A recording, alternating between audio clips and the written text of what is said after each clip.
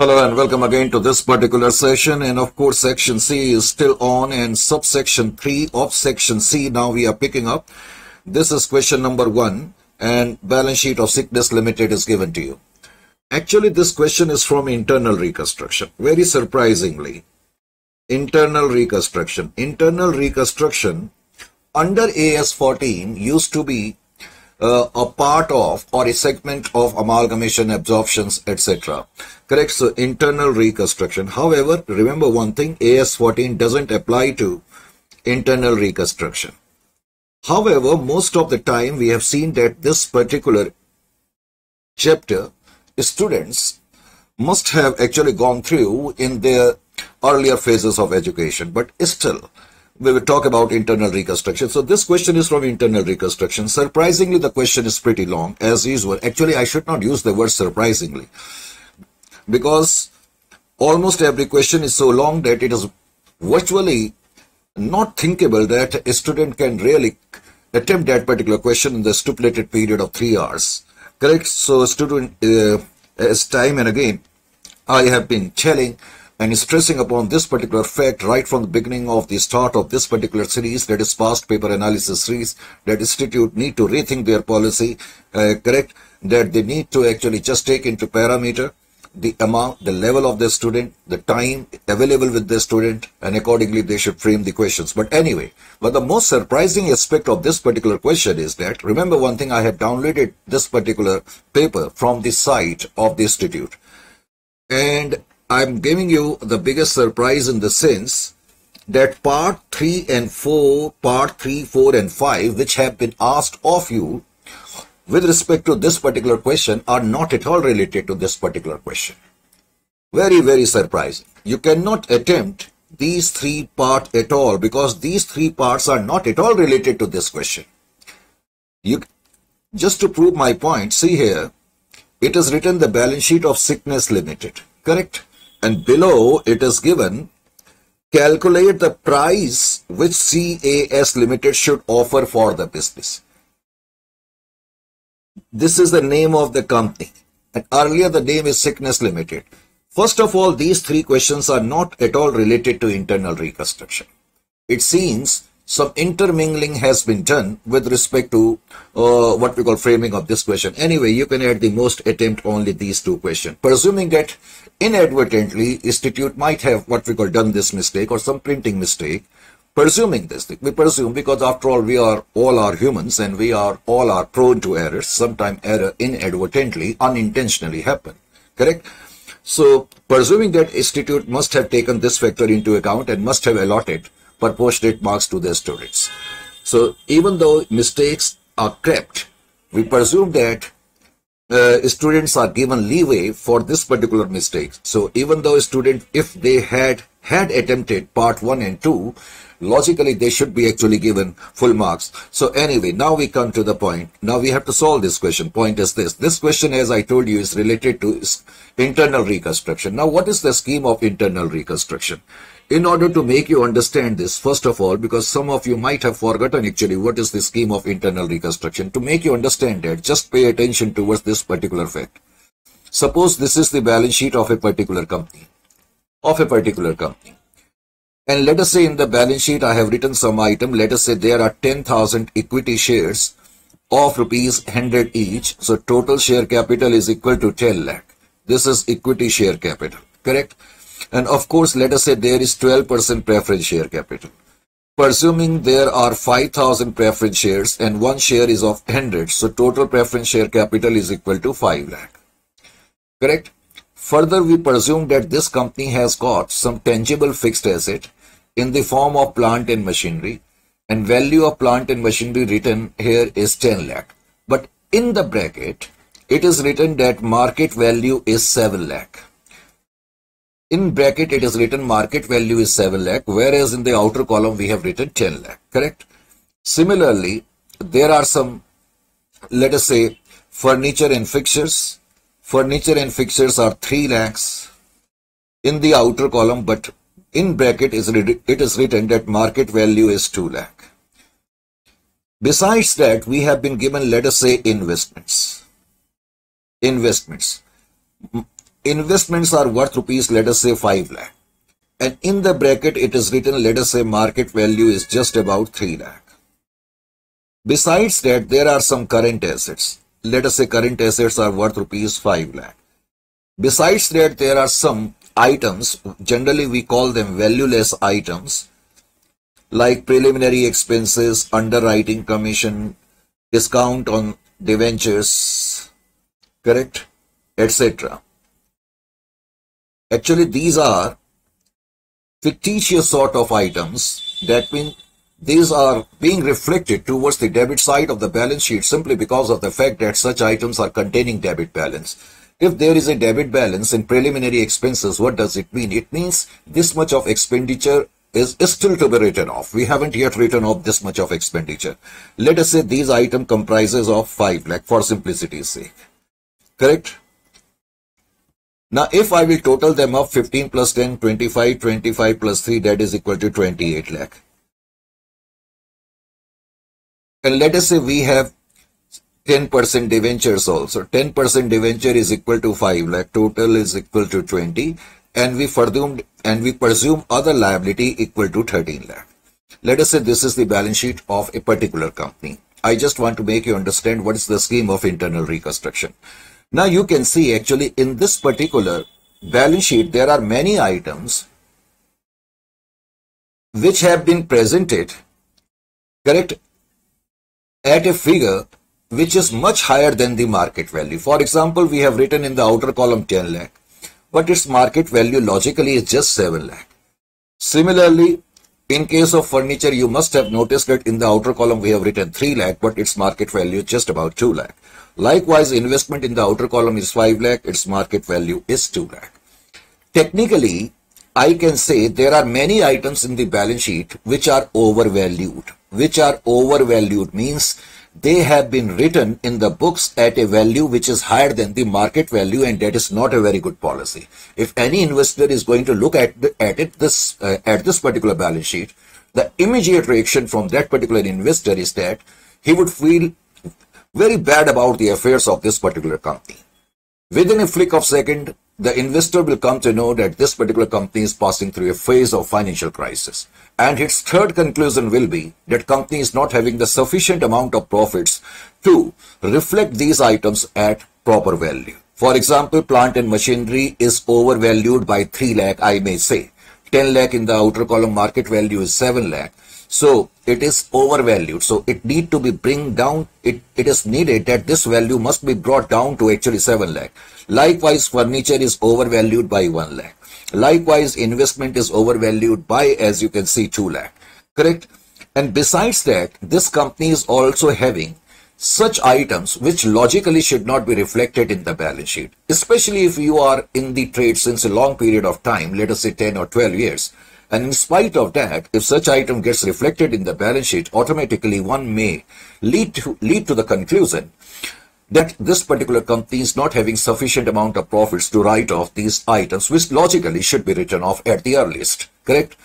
So, all in all, when I am going to have a look over this particular balance sheet, I am going to derive, as I said, very bad impression regarding the affairs of the company and we will come to the conclusion that the affairs of the company are not quite well and company is passing through a phase of extreme and acute financial crisis. Is it clear to you or not?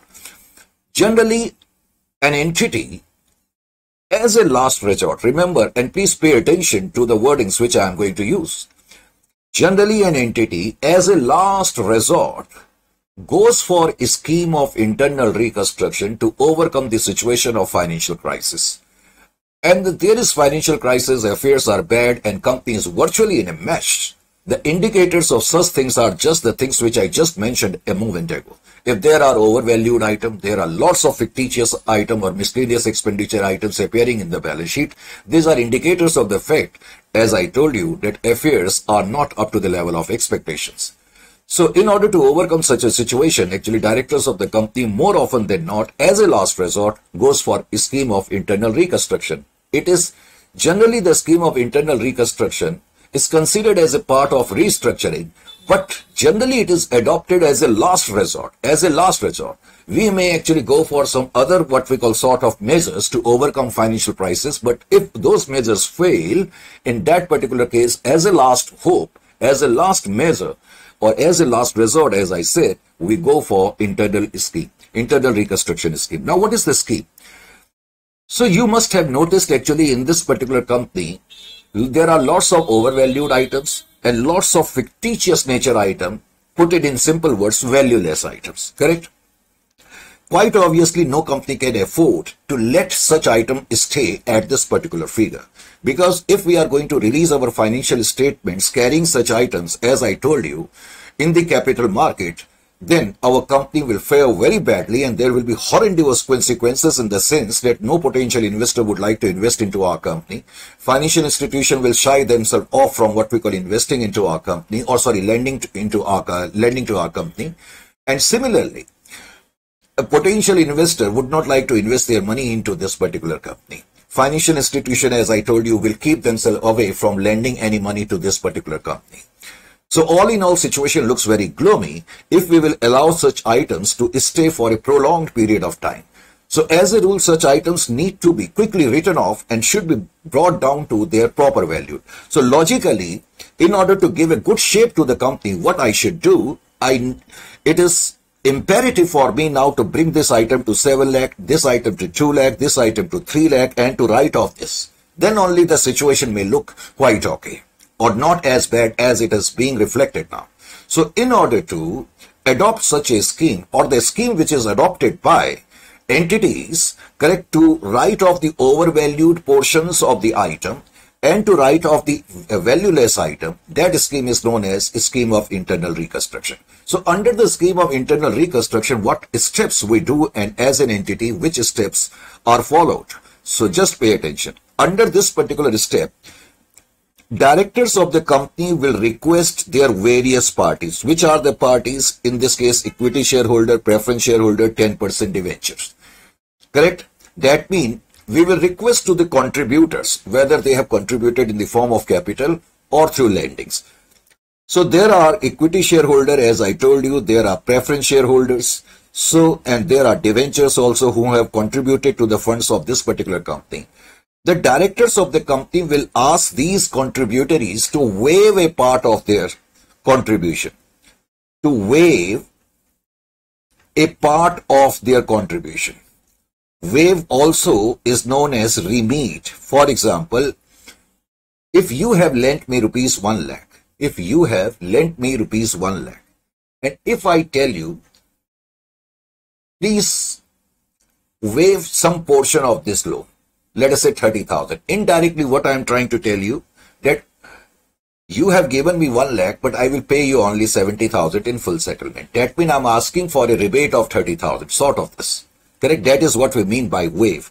So here the directors of the company will ask the contributories to waive a part of their contribution. For example, I will explain it further. For example, in this case, we have 1 lakh equity shares, correct? 1 lakh equity shares? Right. Not 1 lakh, 10,000 shares. So in this case, we have 10,000 shares. And let us say one share is of rupees 100 each. So total amount is 10 lakh.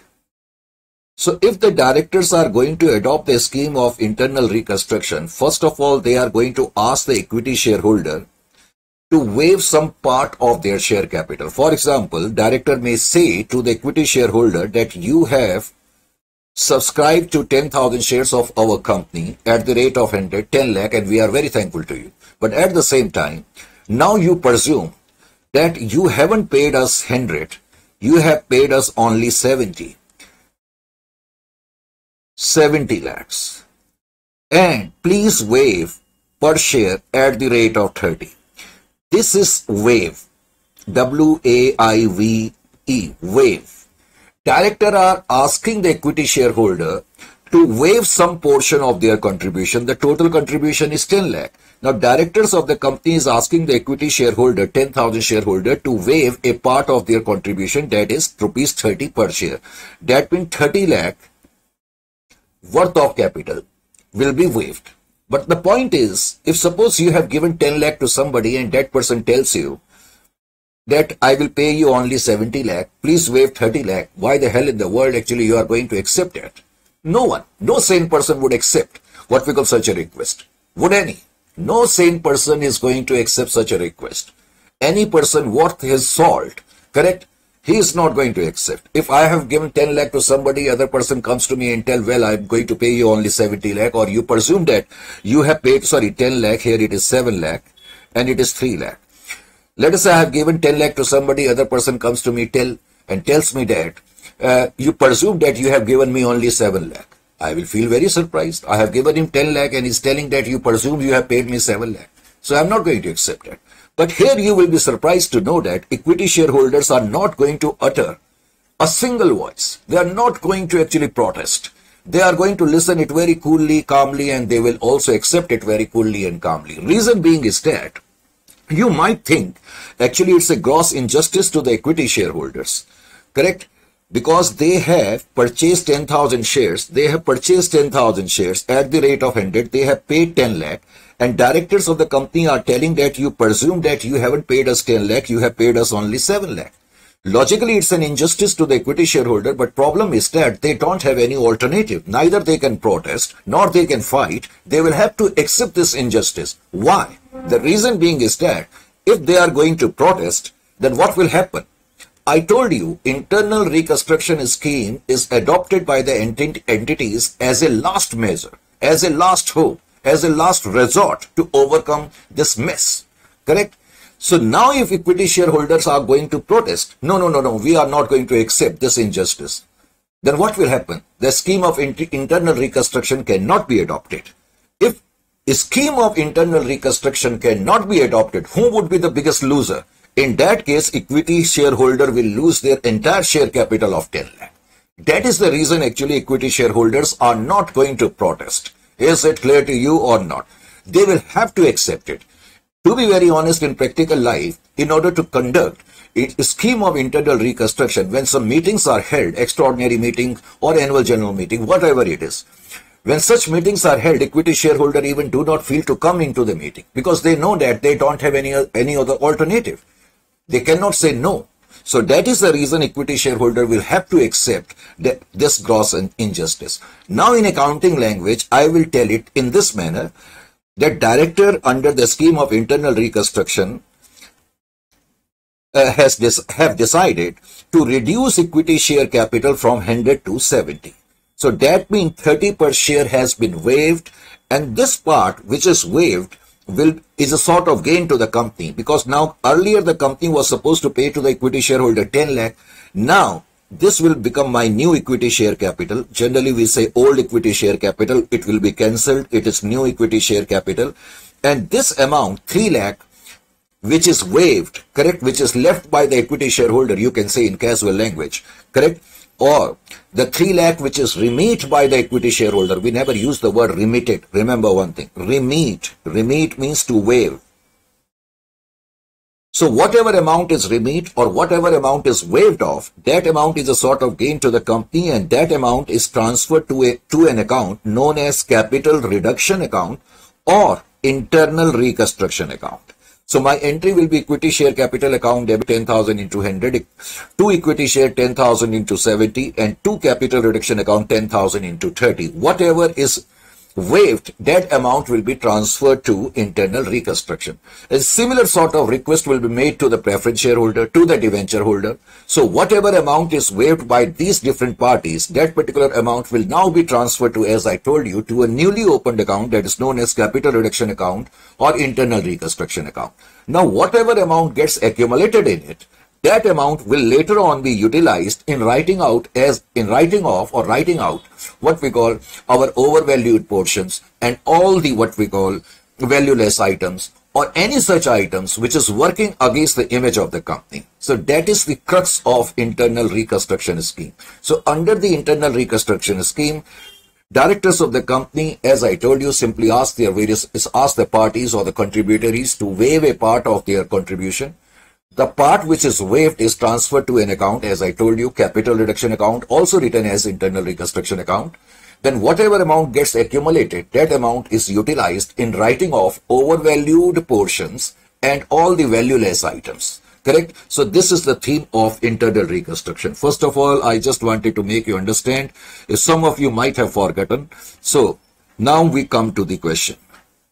Again, this question is not easy, to be very honest. That is the reason you must have noticed that no one else has given any solutions to these papers. So I can take great pride in it that I am the only faculty at this movement who is presenting what we call solutions for all these papers. And nowhere else, as you know, the solutions are available. Is it clear to you? So you also consider yourself lucky in this regard at least.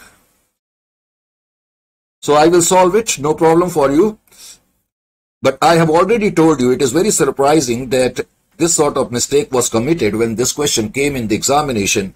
Part 3, 4 and 5 are not related to this question, only part 1 and 2 we can solve. So now just pay attention over here. So let's actually take up this issue. Given below are the extracts from the balance sheet of Sickness Limited. The name of the company itself is Sickness Limited. Correct? And this question is also available almost in every professional body examination, to be very honest with you. And uh, now, if you have the question paper with you, please open it before you because uh, this question is not very clearly printed even in the original site. That is why I am telling you. Anyway, share capital is given to you first as a first item. We have a look over here, share capital.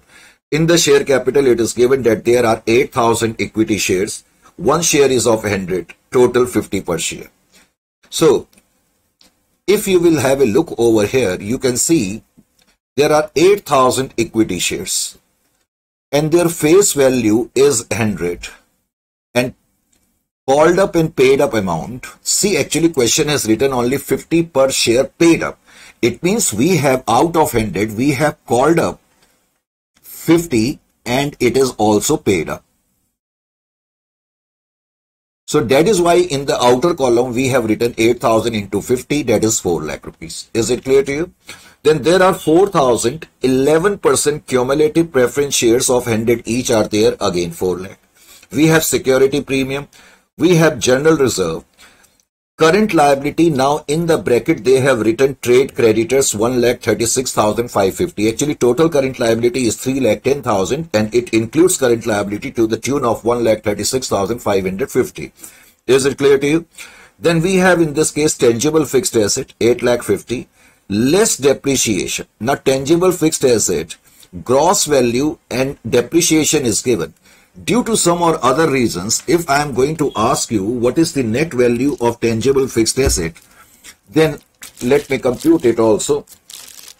So as far as tangible fixed assets are concerned, 8 lakh 50,000 and I am going to subtract 2 lakh 70,000, correct? 2 lakh 70,000. So value is equal to 5 lakh 80,000. Its written down value is equal to 5 lakh 80,000. So net value as we call it is 5 lakh 80,000 correct. Then we have got in this case goodwill. We have got goodwill, investments, inventories. Inventories are 2 lakh 15,000, trade debtors are 2 lakh 50 and cash and bank balances are 1 lakh. Further, it is given that contingent liability not provided. In simple words, it means contingent liability. Contingent liabilities are never provided. If it is a contingent liability, why I am going to make a provision? If I would make a provision, then it will not remain a contingent liability. So contingent liability itself means this amount is not yet provided for.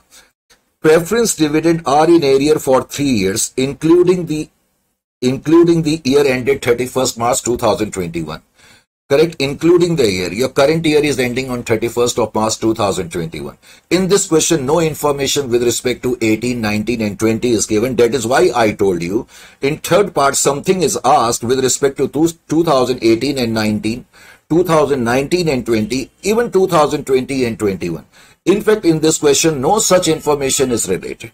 Actually these three questions are related to it seems some question as if those are related to financial management questions, honestly speaking. So that is the reason we cannot attempt part third, fourth and fifth. These three parts are related to some other question, correct? Now we come over to this particular point. Preference dividend. First of all, you need to understand that preference dividend in arrear. In the question, it is given to you that there are 11%, there are 4,000 shares. 4,000 shares of 100 each preference share I am talking about. These are cumulative preference share. Cumulative preference share, as you know, are those preference share in which if in a particular financial year we fail to pay the dividend, then such dividend will keep on accumulating. That is the reason these are known as cumulative preference share. Correct number one. Second point which you need to understand that question states that preference dividend is in arrears since last three years.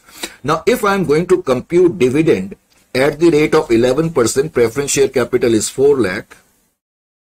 So one year dividend will be equal to this much and three years dividend 44,000 into 3 will be equal to 1 lakh 32,000. That means 1 lakh 32,000 worth of dividend we are supposed to pay to the preference shareholder because this 1 lakh 32,000 is total accumulated dividend of last three years. So since last three years, we might have failed to pay the dividend. So total accumulated amount now is equal to 1 lakh 32,000. That is number one thing. Second point, as a professional student, which you need to know is that preference dividend or arrears of dividend is are always considered as contingent liability contingent liability. First of all, they cannot be considered as a liability. First of all, liability means something which is written in the balance sheet towards the liability side. If something is written, suppose if I take loan from somebody, I am I will receive cash, but at the same time I am going to write loan as a liability towards my liability side. So item which is appearing towards the liability side reflects that we are under some sort of obligation we are under some sort of foundation and mandation to pay that particular amount after a specified period of time. And if we would fail, then punishable action, punitive action could be initiated against us. That is what we mean by liability. Now, something which is not written in the balance sheet, correct? For example, we have to pay the dividend, arrears of dividend, but it still it is not regarded as liability. Now, the question is why? The reason is that Number one, dividend is always payable out of profits as you know better than I. I have already told you companies passing through a phase of financial crisis because company later on we are going to see is adopting a scheme of internal reconstruction. So that itself is a sign that company is not having sufficient amount of profit. Number one. So if we are not earning profits, we are not bound to pay the dividend. This is point number one. But point number two is that even if we would be earning profits, even in that case, payment of dividend is not a force upon us payment of dividend is not a mandation upon us, not a foundation upon us. Are you getting my point or not? Because payment of dividend is the discretion, is the choice of the directors of the company. Even though if the company is earning profits, let us say director decide not to pay dividend, no shareholder in the world has got any right to actually uh, grab our neck. It is impossible. So payment of dividend is never ever considered as a liability. Remember one thing. Is it clear to you? So, preference dividend are in arrear, it's okay, we have written by way of footnotes. Now further the question states that funds of the company are sufficient to discharge the liability. So in this case, question states that company has got sufficient funds to discharge the liability, including the preference dividend in arrear. That means company has got funds enough to discharge liability and even to discharge arrears of dividend. However, the company does not want to deplete the resources. So, however, company do not want to actually now reduce its present resources. So, it would also like to reflect the values of some of its assets in a realistic manner. That's what exactly the point I brought before you earlier. That means that in the imaginary balance sheet which I drew a while ago in front of you, so we may say in one word, could say that we did not represent the items in a realistic manner in the sense because what we represented were not reflective of their true value. So here also there might be some items which are not realistically shown. The board of directors of the company decided and proposed the following scheme of reconstruction. A scheme of reconstruction is also known as rehabilitation scheme, correct? And it is effective from 1st April 2021. So logically, it means we are adopting the scheme of internal reconstruction on 1-4-2021. So what is the scheme now? Let's have a look. Question states that cumulative preference shares, cumulative preference shareholders are to be issued In exchange of their holdings, 13% debenture of the face value of 100 each at a premium of 10% and just to confuse you further, question says that fractional holdings are to be paid in cash. Fractional holdings are to be cash. First of all, question says cumulative preference shareholder are to be issued in exchange of their holdings 13% debenture of the face value of 100 each at a premium of 10%. And any fractional holdings are to be paid off in cash. What does it mean? Just pay attention. In order to make you understand, First of all, I will write an entry here with respect to point number one. I will look into my preference share capital. We know my preference share capital is 11% cumulative preference share capital account. Cumulative preference share capital account. Correct? 11% cumulative preference share capital account. We know that we have got 4,000 shares of 100 each that is equal to 4 lakh. 4,000 shares of 100 each 4 lakh. Now question later on says that the cumulative preference shareholder are to be issued in exchange of their holding. Now total holding of preference share is 4 lakh. So we are simply telling to the preference shareholders that we will issue you against your 4 lakh, we are going to actually uh, make you a payment of debentures. So I will write here to 13% debenture account. To 13% debenture account. How many debentures I will issue, I will let you know. And because I am issuing debenture at a premium, I will also write to security premium. And besides that, I am going to write to cash. Question says that in order to pay or in order to settle preference shareholders liability, we are issuing them 13% debenture. But 13% debenture will be issued as question says that at a premium of 10%. One debenture is of 100. So that means I will issue one debenture at the rate of 110. So how many debentures actually I am going to issue now? That is the major question. For that I will have to compute the number of debenture and for that I will have to divide 4 lakh, just wait, 4 lakh divided by 110. That comes to 3636. So that means 3636.36 debentures I will have to issue. Are you getting my point in this case? 3636 debentures we will have to issue in exchange of preference share means we want to settle the liability of the preference shareholder by issuing them what we call debentures. Now, Problem is that debentures can never be issued for for that instance shares. They can never be issued in fractions. So first I will appropriate it to 3636. Never appropriate to the higher level. Even if after point it would have been 7, I would have still appropriated it to 6 only. 3636 I mean to say. So now I come to know that I will have to issue 36, 36 debentures of rupees 100 each. One debenture is of 100. So I will write here 3 lakh 63,600. And then I will write security premium 3636 into 10. Because debentures are being offered at the rate of 110. That means per debenture premium is 10. So that is 36,360. Logically, I am supposed to pay to the preference shareholders 4 lakh.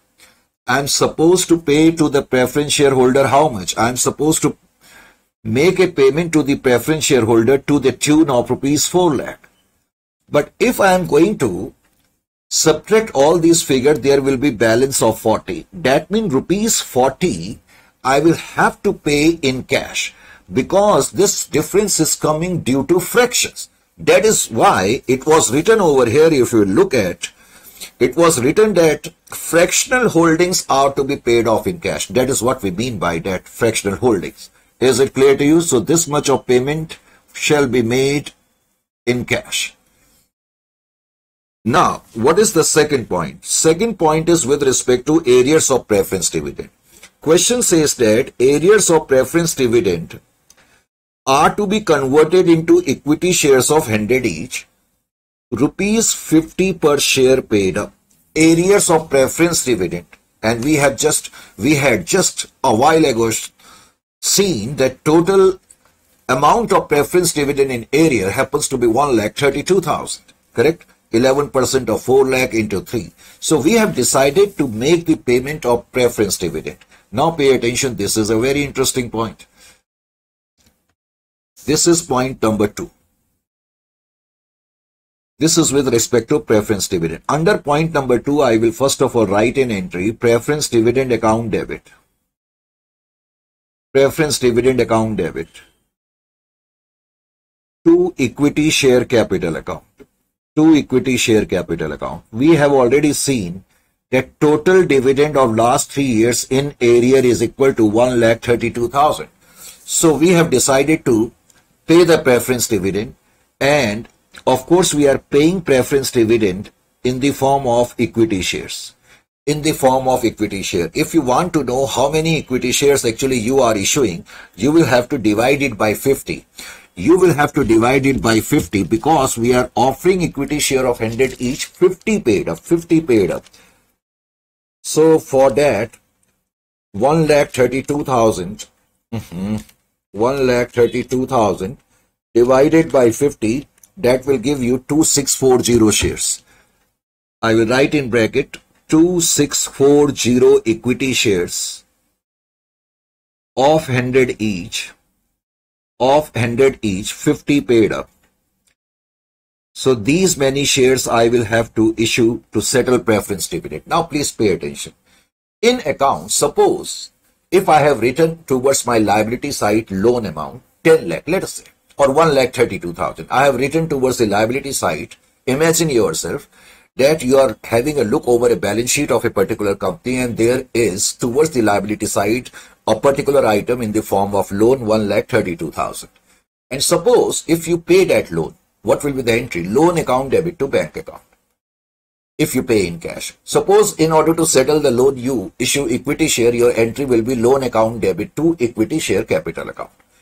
Now when you will pay the loan by issuing equity share equity share two things will happen your equity share capital will increase because you are floating new equity share and at the same time the amount of loan which was appearing in the balance sheet now will get erased out because now you have paid that item but here what will what is happening preference dividend you are making a payment for the preference dividend number one your equity share capital definitely will increase see here in the beginning, you had 8,000 share.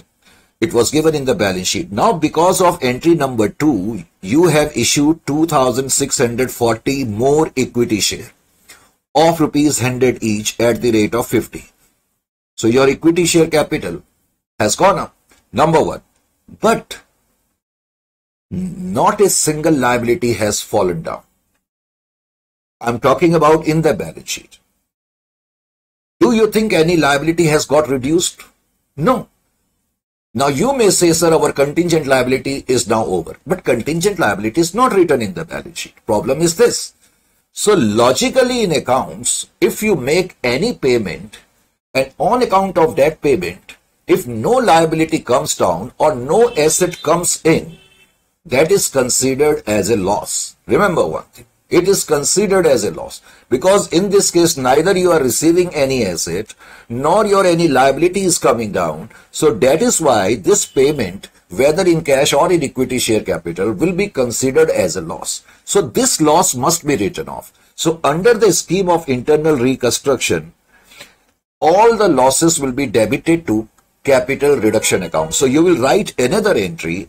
In this case capital reduction accounts capital reduction account debit or you can write internal reconstruction account debit. Capital reduction account debit to preference dividend account. To preference dividend account. Now your preference dividend account will get closed. So 1 lakh 32,000 this is the entry now you are going to write. Is it clear to you or not is it clear to you yes sir now it is clear to us if it is clear to you So preference dividend payment is always considered as a loss. Remember one thing. Similarly, if you pay any fee, any penalty, because these liabilities are never ever written in the balance sheet, these are, these are considered as loss in accounts. Now we move over to point number third. Question says that after the issue of equity share in second above, now in second above, that means after the issue of equity share till up to this point, till up to this point, correct? Question says that paid up value of all the equity share to be reduced to rupees 25 each. What does it mean? We know that till up to second entry, we have now 12,000, sorry, 10,640 shares. Because we just issued 2640 equity share. Earlier we had 8,000. So now after after point number two, we have 10,640 shares off-handed each and 50 paid up. Now question is telling that you are reducing the paid up value from 50 to 25. That means now here the scheme of internal reconstruction is coming into play. You're telling to all these shareholders that you have paid us at the rate of 50. Now presume as if you have paid us only 25. So that means indirectly director are asking the equity shareholder to waive 25 per share. We are reducing the paid up value from 50 to 25 means we are telling the equity shareholder to waive rupees 25 per share. So as per this entry, after the issue of equity shares, under point number 2, the paid up value of all the equity share to be reduced to 25 means in point number 3, now my next entry will be equity share capital account debit. See here, we had or we are having, should I say, 10,000 as I told you, 640 shares. 10,640 shares. And we are reducing these shares by 25 paid up value. That means now paid up value is just 25. So 10,640 into 25, how much? This amount is waived. So it will be transferred to capital reduction account. It will be transferred to capital reduction account. Correct? So it will be transferred to capital reduction account and what will be the amount? The point is that the amount will be, just wait, 10,640. 10,640 into 25 that is equal to 2,66,000 according to my calculation. Correct? According to my calculation, that is 2,66,000. Now you write here 2,66,000. On account of this entry, what is happening? First of all, you need to keep a track of this. Because of these, this entry, two things are happening. Because equity shareholders have been forced to waive a part of their contribution. Quite obviously, equity share capital is getting debited by 2,66,000. Correct? So, we may say our equity share capital has reduced by 2,66,000. That is number one. And our capital reduction account has increased by 2,66,000. Again, in point number four, now there is point number four also. Now question says that, so that means after entry number this is still up to point number two. Now, after entry number three, what is the situation? We still have 10,640 shares off-handed each, but their paid up value is now just 25. Their paid up value is just 25. Earlier, the paid up value was 50, but now it has been reduced to 25. So presently, my equity share capital is 10,640 into 25 after entry number 3. Now, in point number four, question says that the face value fit now. It is not a case of paid up value. Question says the face value of all the equity shares to be reduced to 50 each. Now, in point number four, what directors are deciding? Directors are deciding that face value, which is 100, should be reduced to 50 that means indirectly after this decision, my equity share capital will be 10,640 shares of rupees 50 each because now their face value has become 50. Of rupees 50 is 25 called up. after entry number 4. Now, when we are going to change the face value, remember one thing, it is not going to affect. See here, at this stage, my equity share capital is 10,640 into 25. Correct? At this stage. And if I multiply 10,640 with 25, it will be equal to 2,66,000. So in my entry number 4, I will write equity share capital 10,640 shares we are having of rupees 100 we are having and paid up value is 25 so 25 paid up value so 10,640 into 25 will be equal to 2,66,000 now in this entry there will be no gain or loss only thing is that we are changing the face value my face value earlier is 100. Now it will become 50. So I will write equity share capital account debit to equity share capital. And now in bracket I will write 10,640 shares of rupees 50 each because now my face value is 50. 25 paid up. 25 paid up. So only thing is that on account of this entry, the face value has changed. So that is why there is no gain or loss in this particular entry. Is it clear to you? So now my equity share capital after entry number 4 as I told you is 10,640 shares of 50 each 25 called up. Now question in point number 4 itself also says that face value of all the equity share to be reduced to 50 each and the balance of the unpaid portion is to be called up fully. What does it mean? That means in entry in point number 4, this is entry number A and I will have to pass another entry. What does it mean? Question says that unpaid portion to be called. Now what is the unpaid portion? Could you tell me? Because as per point number 4, now we have 10,640 shares of 50 each, 25 per up. So what will be the unpaid portion? The unpaid portion will be 25. That means now after this decision, my equity share capital will be 10,060 of 50 each and 50 called up. That means full amount is called up. So we are calling up the remaining amount means we are calling up 25. So when you will call the amount, your entry will be simple entry bank account debit to equity share capital account bank account debit to equity share capital account. On 10,640 shares, you are calling unpaid portion of 25. So again, it will be 2,66,000. This is how you are going to pass the entry. After this, the question says, after this particular point, question says that goodwill has lost its value. So goodwill has lost its value and it will have to be written off. So that means in this particular question, I will have to write the amount of goodwill, whatever goodwill appearing in balance sheet, I will write it off. Market value of tangible fixed asset is determined at 4,99,250. This was the point I was, I was trying to tell you earlier.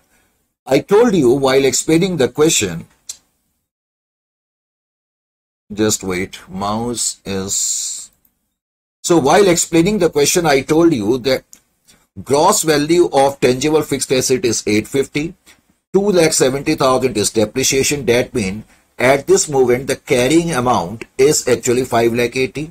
Now question says that below the question states that value of fixed asset is determined at 4,99,000. 4,99,250 four lakh ninety nine thousand two fifty. That means you have to bring your tangible fixed asset from this value to this value. Is it clear to you or not? So that is something about, I think, 80,750. 80,750. By this much amount, you will have to. So we will have to write off goodwill as I told you. And as per this particular line, I will have to bring my tangible fixed asset by 80,750. And then there is another point in this question, investment have no market value and have to be written off. So whatever investment which are appearing in the balance sheet, investments are worth rupees 25,000. So investment also you will have to write off. Investment 25,000 you will have to write off and goodwill is appearing in the balance sheet I think at 40,000. So goodwill 40,000 you will have to write off. Further the question says that inventory is to be valued at 110% of its book value. Now value of inventory. Now if we will look here value of inventory is 2,15,000 correct? Value of inventory is 2,15,000 just wait I will rub it out so as to create lesser confusion. Inventory is 2,15,000. 2,15,000. Its value is estimated at 110%. So that means it's well, so it is 100% value. So simply add 10% to it. So if you will add 10% to it, it will be 21,500. That means the value of inventory has gone up to 2,36,500. You could have computed 2,36,500 in this manner also. 2,15,000 into 110 divided by 100. And then you could have taken the difference. Anyway, point is that value of inventory is moving up. When you do the when you do the solution under the scheme of internal reconstruction, it is always better to keep track of all the gains first. For example, in this question, there is gain. So it is better to write this entry first. Inventories account debit because value of inventory is going up. Inventories account debit and value of inventory is going up by 21,500 and any gain will be taken to capital reduction account. So you will write to capital reduction account 21,500. So I have taken this gain. Further, the question says that trade debtors are to be discounted by 5%. That means value of trade debtors, which is 2,50,000, it is coming down by 5% and 5% is 12,500. So that means in this question, I have to write off goodwill, tangible fixed asset, investment, and I have to bring down debtors by 12,500. So for that, I will have to pass an entry. What will be my entry? First of all, I will write here capital reduction account. Now I will check what is the net balance in capital reduction account. Let me check it first. Correct. I will take the calculator. This is credit balance 21,500. So I write here 21,500. Correct. I have taken this balance. Then I will see where else I have written capital reduction. Here I have written capital reduction plus 2,66,000. Then capital reduction was debited. Here it is debited. So I will subtract minus 1,32,000. So net balance at this moment in the capital reduction is 1,55,500. So net balance in the capital account is 1 lakh 55,000. Net credit balance. Now I will utilize this balance in writing off all such items. Correct? For example, I have to write off goodwill. So I will write goodwill. Amount of goodwill is equal to 40,000. So I will write off goodwill by 40,000. Then in, in this particular question, I told you tangible fixed asset need to be written off. I told you tangible fixed asset. Their net value at this moment is 5 lakh 80,000. From 5 lakh 80, we have to bring them down to 4 lakh 99,250. And amount which we computed earlier was 80,750. So tangible fixed asset need to be written off by 80,750 so as to bring their value from 5 lakh 80 to 4 lakh 99,750. That's uh, 4 lakh 99,250, sorry. Then we have to write off investment also. So I will write investments. Amount of investments is 25,000. So I will write off investments by 25,000. And besides, trade debtors have reduced by 5% and which we computed 12,500, 5% of 2,50,000. So these are the items which we are supposed to write off. But the problem is that, let me check how much this total is coming to. 40,000 plus 80,750 plus 25,000 investment plus 12,500 Problem is that this total is equal to 1 lakh 50. If I will total all these items, this total is equal to 1 lakh 58,250. This is the problem. That means the amount which I need to write of all these items is 1,58,250. But problem is that our internal reconstruction scheme is providing only 1,55,500. So if I take, I will take the difference of these two, this difference will be equal to 2750. So that means there is a shortfall. So how, how I am going to fill this shortfall? I will look into the balance sheet and I will utilize my reserves. So you know in the balance sheet there is general reserve. So from general reserve I will take the amount 2750. For example, in this question there is general, in this particular question, there is general reserve to the extent of 60,000. So 2750 we will take out of general reserve or we will utilize general reserve to write off all these items. This is one possibility, sometimes shortfall can take place. At the same time, if there would have been any balance left towards this side, correct, then that balance would have been transferred to capital reserve account. If there would have been balance towards this side. However, in this question, there is no balance. In fact, there is shortfall to the extent of 2750. So this is the internal reconstruction scheme as at 1-4-2024. As at 1-4-2021, sorry. So you have adopted your scheme of internal reconstruction.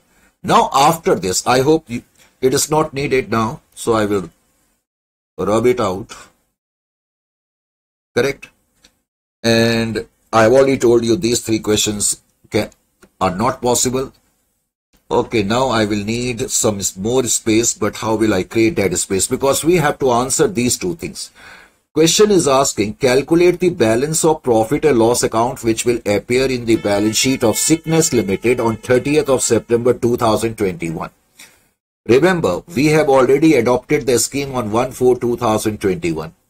And question is asking, situation after six months because six after six months we will come over to 30th September 2021. So question is asking what is the balance in profit and loss account on this date and second question is that what is the cash and bank balance which will appear on this particular date. So we have adopted the scheme on 1-4-2021. That means six monthly more situation is given to us in this particular question. So let's have a look over that. What else is given in the question? Then only we shall be able to give answer to this. It is given in the question later on that scheme as approved by the director is fully accepted by all authorities and put into effect. That means on 1-4-2021, we have effected the scheme of internal reconstruction. During the working for the half year ended, that is from 1-4-2021 till 30th of September 2021, it is noticed that trading for the period has resulted an increase of bank balance by 55,100. Now question says that during the next six months, that means after we have had adopted the scheme on 1-4-2021, in the next six months, what is happening? Questions as per the question, what is happening? Now I will first of all erase all these items, correct? And even this is not needed. Okay, so I have created a bit of space for myself now. See, now in the next six months, what is what is happening? Question says that from 1-4-2021 till 30th of September, question is telling that from this particular date till this particular date, there is increase in bank balance by 55,100, okay increase in bank balance by 55,100. This is one part of the question. Further, the question says that during these six month trade debtors by 20%. That means debtors have also gone up by 20% during this particular period. Debtors have gone up by 20%. Further, the question also says that trade creditors have also gone up by 20%. Trade creditors have also gone up by 20% during these six months and decrease in inventory has taken place to the extent of 6%. So value of inventory has fallen down by 6% during these six months from 1-4-2021 till 30th of September. Also question states that depreciation on fixed asset is to be provided. So depreciation on tangible fixed asset, of course, depreciation on tangible fixed asset at the rate of 10% per annum is to be provided.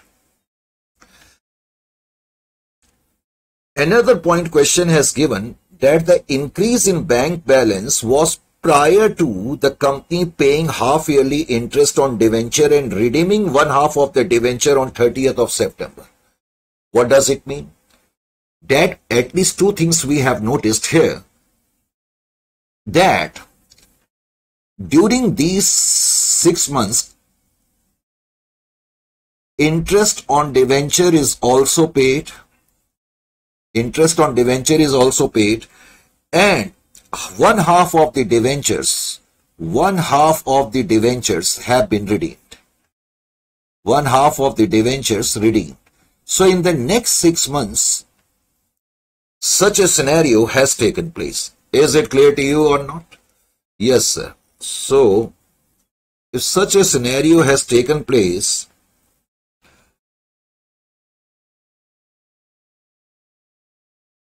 Now I have to find out profit and loss account balance.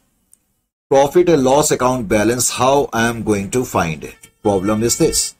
Profit and loss account balance. Of course, as at 30th of September 2021. You have gone through this accounting equation right from the first day of your journey into the commerce stream that assets is equal to liability plus capital. Suppose if I tell you my assets are 5 lakh, my liability is 0 and my capital is 5 and later on I tell you in the current year my cash has increased by 1 lakh. Obviously if my cash has increased I am going to increase my asset side. What else I am going to increase? Could you tell me? Suppose I tell you simply I have received a rent of rupees 1 lakh from my tenant, let us say. So that is increase in cash. So 1 lakh I will increase the cash. What else I will I'm going to do? Obviously, I cannot increase the liability. I will increase the capital. But why I am going to increase the capital? Because it is a profit to, to us. If I am going to receive the rent, it is a profit to us. Why it is a profit to us? Because we are receiving cash only and against the same we are not delivering anything. No physical thing is moving out. So it is a profit, number one. Increase in cash, unless and until otherwise stated, is always synonymous with profit. You need to understand this. If I say there is increase of cash of, let us say 1 lakh in this particular month, indirectly it means in this particular month, my trading profits have gone up by 1 lakh. Why I told you, I hope you have been able to derive the analogy you must have driven, driven the analogy. Analogy means why I am citing this case. Because in the question it is given that during these six months our bank balance has increased by 55,100. That means during these six months profit is equal to 55,100. Is it clear to you or not? That is the reason I am trying to tell you that why you need to understand all these things and why your concept should be so strong. Anyway, scale is not there. Further, during these six months, my debtors have also shown an increase. So I will add debtors plus increase in debtors because that will increase increase in debtors Now, could you tell me on 1-4-2020, 21, what was the amount of the debtors? On 1-4-2021, see your debtors were 2,50,000 trade debtors and 12,500 worth of debtors were written off because 5% as per the scheme we wrote off debtors by 12,500. So on 1-4-2021, I may say my debtors is my debtors are equal to 2,37,500. And from 1-4-2001 till up to 30th September, debtors have gone up by 20%. So, 20% of 2,37,500 you will have to compute. This will be equal to 47,000. You also compute yourself. Please compute first of all. 2,37,500 into 20%. That is equal to 47,500.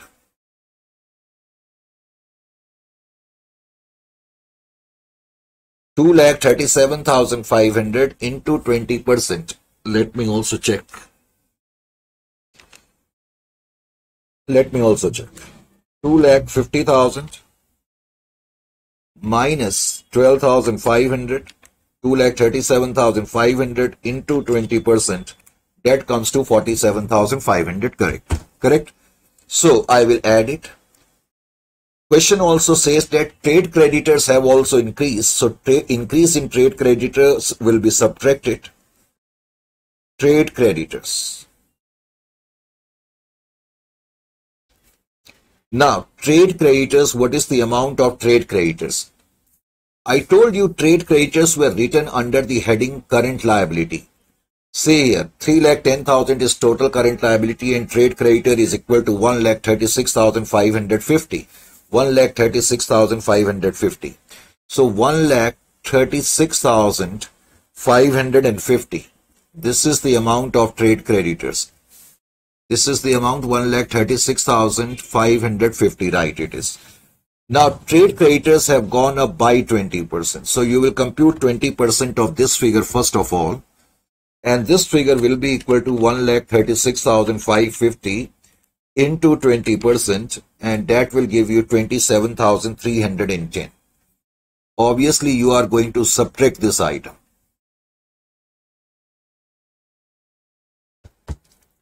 Correct? Then there is also one more adjustment was with respect to inventories. Inventories have fallen down by inventories have fallen down by 6% inventories have fallen down by 6% so you will subtract inventories also. You will write here inventories. Now if i am going to ask you what is the balance of inventories on 1-4-2021? See, as per the balance sheet, inventories are 2,15,000.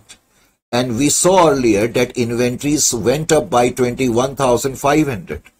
That means on 1-4-2021, inventories are equal to 2,15,000 plus 21,500, that is 2,36,500.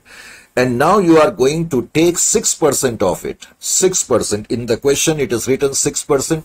Inventories have shown a decrease of 6%. So 2,15,000 plus 21,500 into 6%, that comes to 14,190. 14,190. Correct? So decrease in inventory. Decrease in inventory will also reduce my profit. Increase in debtor will increase my profit in the sense my sales are increasing. Trade creditors. Trade creditors are decreasing. That means we are making the payment to the trade creditor. So that is the reason actually our profits will decreasing. Anyway, so this is how you are going to find out. But also it was given in the question that these profits, these profits are before, sorry, this increase in bank balance was prior to, was prior to company paying half yearly interest on debenture and redeeming one half of the debenture on 30th of September. So, and in fact, I have written all these points also. There was also depreciation. So depreciation, we will also consider less depreciation. Now, value of tangible fixed asset. Could you tell me what is the value of tangible fixed asset? On 1-4-2021, uh, so 4 lakh 99,250, right? 4 lakh 99,250, this value was given to you. This value was given to you 4 lakh 99,250 on 31st of March 2021, correct? So now we have to provide depreciation at the rate of 10% and of course for 6 months. If I will provide the depreciation, my profit will reduce. And if I am going to compute the amount of depreciation, it will be equal to how much? 4,19,250 into 10% divided by 2. That is approximately 24,962. 24,962. Problem is that question also states that this increase in bank balance is before the payment of interest. Now suppose if in the current year you are going to make the payment for interest on debenture, what will be your entry? Your first entry will be interest on debenture account debit to bank account and then interest on debenture will be debited to profit or loss account so your profit will get reduced. So you will write here interest on debenture. Interest on debenture. Now what is the amount of interest on debenture? Interest on debenture will be interest on debenture, sorry interest on debentures. Remember, you had issued to pay preference share capital some debentures in your entry number 1 itself and the amount of debenture is 3,63,600 and there are 13% debenture. So, interest will be, half yearly interest will be 13% of 363600 because this much of debenture 363600 right? Absolutely. And for half year that means from 1st of April till 30th of September. So this much will be equal to how much? Again I will compute that and it will be equal to 363600 into 13% divided by 2 it comes to 23,634. 23,634. 23,634. Is it clear to you or not? So, and don't commit this mistake because later on it is also given that we have redeemed the debenture. See, when we are going to redeem the debenture, we have to pass only one entry, debenture account debit to bank. Redemption of debenture is not debited to profit or loss account. So we may say the balance in profit and loss account is this much as at 30th of September, correct? So what will be the balance? Actually, this balance which is given to you in the answer, in my opinion, is, in, incorrect because this question is taken from a particular book and that particular book has shown is something in the vicinity of 12,500 something which I'm not very sure but let me compute it. 55,100 plus 47,500 and 27,310 will be subtracted. 27,310. You will subtract 14,190 and you will subtract the amount of depreciation 24,962 and you will subtract 23,634. So that comes to 12,504. That was the point I was trying to tell you 12,504. You can check this also. This is, question is available. So this should be your correct balance. However, your this answer is correct, but this is this should be in my opinion anyway.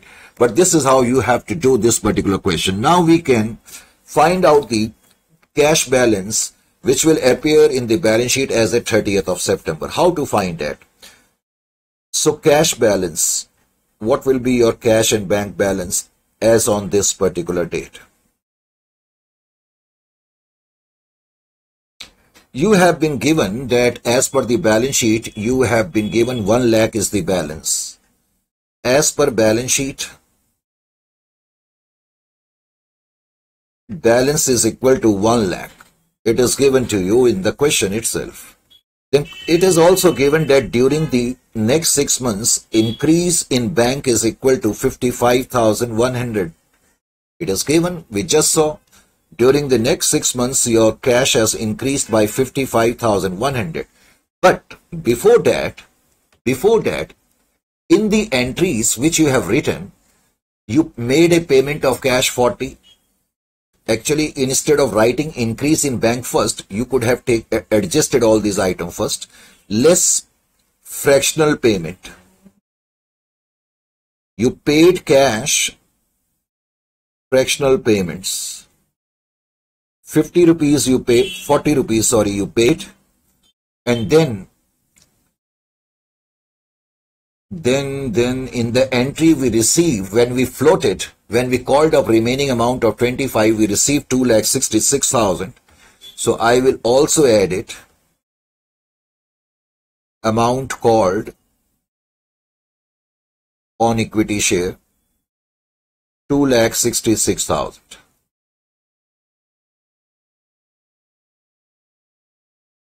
now in these six months, we made a payment of interest on debenture. When we will make the payment for interest on debenture, entry will be interest on debenture to bank. So I will reduce my cash bank. And then I will write profit and loss account debit to interest. That is why while computing the profit, I have subtracted it here also. And here I am making the actual payment, 23,634 Depreciation I will not write under cash. Don't write this depreciation. But you have redeemed your one half of the debenture. Redemption of debenture as you know, total debenture 3,63,800 worth and one half of the debentures you redeemed and one half will be equal to 1,81,800. And your this balance is correct two lakh fifteen thousand six hundred and actually here it is written 630 that is actually two lakh fifteen thousand uh, I think 626 let me compute. Because difference of 4 because of appropriation that is okay no problem. But your this balance is 12,504 correct so this is how we will do this particular question. It's a pretty long question. Not only I have to solve the question, I have to first of all explain each and everything. In fact, I have to explain the entire chapter. So that was the main point. 1 lakh, let me compute also, plus 55,100 minus 40 fractional payment plus 2 lakh 66,000 we called at the rate of 25 and then minus 23,634 and minus 1,81,800. So that will give me 2,15,626. Right. So these are your perfect answers. And I've already told you, unfortunately, this is, this mistake should not have taken place in my opinion, but it took place. I can't help it. So these three questions are not related to this question, honestly speaking. So that is the reason you can solve only one and two. So that's enough for the day. In the next session, we'll talk about something else. Till then, it's goodbye.